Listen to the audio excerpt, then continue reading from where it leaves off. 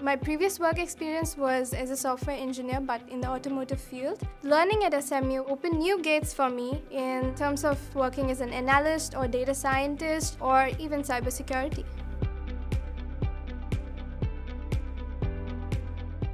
My favorite class was applied machine learning, although we spent most of the class just crying and trying to improve our grades. But in the end, it really helped me in my internship as a data scientist. And I would like to thank Prof. Dai for that.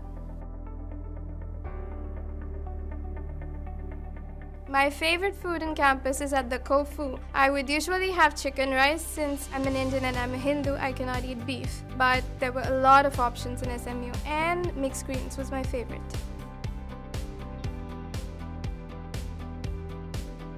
In the future, I wish to work as a data scientist, data analyst, or in the cybersecurity field.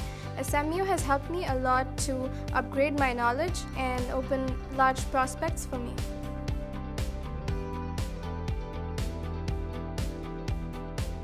I would say is amazing, difficult, but rewarding in the end.